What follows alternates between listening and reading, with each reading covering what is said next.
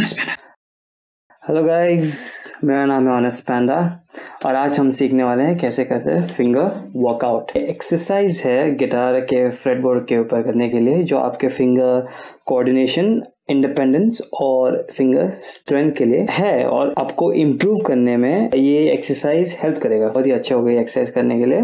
तो वो कई ज़रिए आ सकते हैं ये इस्तेमाल करने के। आपको पता है किधर। जाने से पहले एक स्मॉल एक्सरसाइज दिखाना चाहूँगा आपको, जो है इनहेल एंड एक्सेल इनहेल नाक से अंदर लेना और एक्सेल मुँह से बाहर निकलना।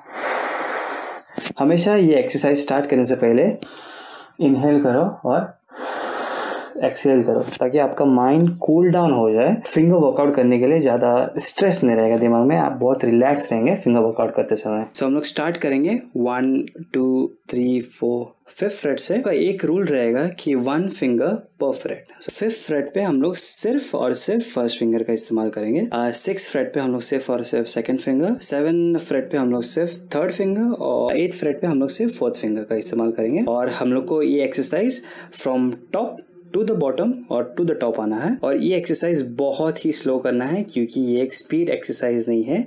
ये एक स्ट्रेंथ और एक कोऑर्डिनेशन एक्सरसाइज है। मैं एक बार आपको स्लोली प्ले करके दिखाऊँगा। स्क्रीन के ऊपर एक डायग्राम भी आ जाएगा। आप ऑलरेडी सीख चुके हो कि डायग्राम्स कैसे पढ़ते हैं। अगर आपने नहीं देखा हो तो आप जाके देख सकते हैं मेरा प्रीवियस वीडियो तो स्टार्ट करते हैं। फ़र्स्ट फिंगर रहेगा हम लोग स्टार्ट करेंगे फिफ्थ फ्रेट से। So one two three four five या फिर ये डॉट से भी आपको पता चल सकता है कि ये फाइव फ़र्स्ट फिंगर फिफ्थ पे सिक्स सेवन एट फिर नीचे ए स्ट्रिंग पे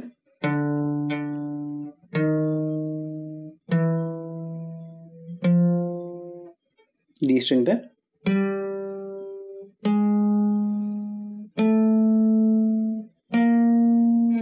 जी स्ट्रिंग पे five six seven favourite string B string पे फाइव सिक्स सेवन एट और फिर लास्ट ई स्ट्रिंग पे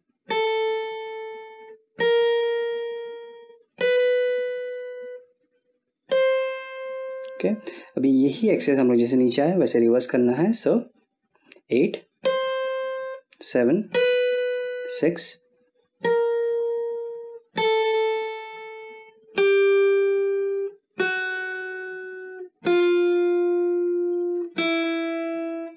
G string.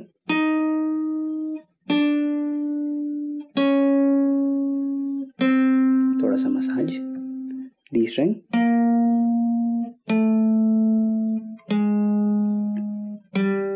A string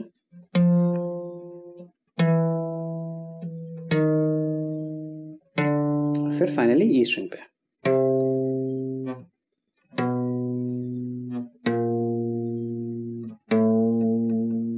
कुछ ही पॉइंटर्स आपके लिए। आपने देखा रहेगा कि जैसे मैं फ्रेट से सिक्स फ्रेट पे जा रहा हूँ तो मैं फिंगर्स ऐसे नहीं कर रहा हूँ।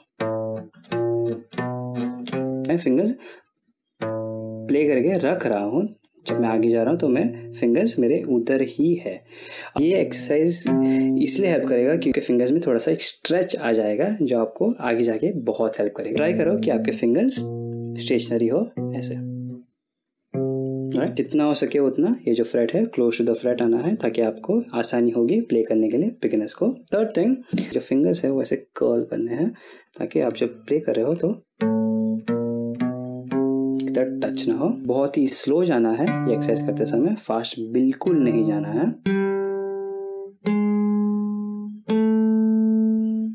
अगर आपको ये पोजीशन इजी पड़ जाती है तो आपको क्या करना है? टुवर्ड्स द नट आना है। सो so, एक फ्रेट हम लोग आगे जाएँगे।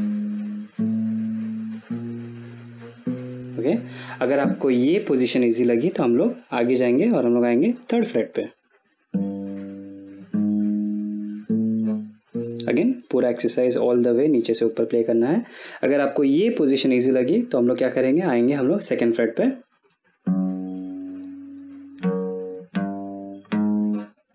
अगर आपको ये पोजीशन इजी लगी तो यस तो फ़र्स्ट फ्रेट पे हम लोग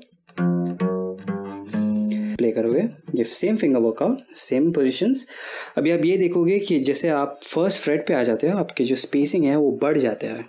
क्योंकि ये गिटार के ऊपर सबसे फादस्ट प्लेस है फिंगर्स प्लेस करने के लिए और इससे आपको बहुत अच्छा सा स्ट्रेच मिलेगा।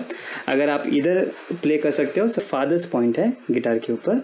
सो स्ट्रेच को बनाए रखिएगा। मैंने ऑलरेडी दिखाया कैसे होल्ड करते हैं पर कैसे बजाना है। आप सिर्फ़ डाउन स्ट्रम्प्स प्ले करेंगे या डाउन स्ट्रोक तो डाउन स्ट्रोक मतलब ऐसे नीचे सिर्फ़ नीचे प्ले करोगे।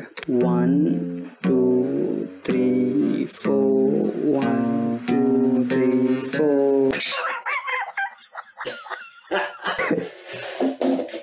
hello guys finger ये रहा हमारा फिंगर वर्कआउट तो आ, ये याद रखो कि पाँच मिनट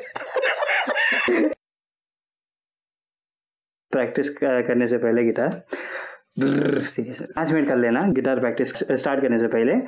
अगर आपको ये पोजीशन ये जो फिफ्थ पोजीशन है, वो इजी लगता है तो जितना हो सके उतना टूवर्ड्स द नट बढ़िए। फोर्थ पोजीशन इजी है तो थर्ड सेकंड और फ़र्स्ट ये सबसे वाइडेस्ट पार्ट है गिटार का। तो अगर इधर मास्टर हो गया तो आपको इधर कोई भी दिक्कत नहीं रहेगी अगर आप आगे जाके सोलोज बजाना चाहते हैं। Not really a speed exercise है so this is a stretching और कोऑर्डिनेशन और फिंगर स्ट्रेंथ एक्सरसाइज है। स्पीड नहीं है, इधर फास्ट नहीं जाना है, जितना हो सके उतना स्लो जाना है, जैसे। ओके एक बार डाउन जाइए अप आइए डाउन जाइए अप आइए डाउन जाइए अप आइए डाउन जाइए अप आइए। अगर आप चार बार एक साथ विदाउट एनी मिस्टेक किए पास कर लेते हो तो ही टूवर्ड्स द नट आगे आना। सो so, ये रहा फिंगर एक्सरसाइज ये स्पीड एक्सरसाइज बिल्कुल नहीं है ये स्ट्रेंथ और कोऑर्डिनेशन है। ये अगर एक्सरसाइज प्ले कर लेते हो तो आप मास्टर हो जाते हो और आप किधर भी चाहिए, उधर उंगली कर सकते हो। जाने से पहले, ओ हो हो इनहेल और एक्स जाते जाते याद रखना कि जिसने भी गिटार स्ट्रिंग्स को जी स्ट्रिंग नाम दिया, वो तो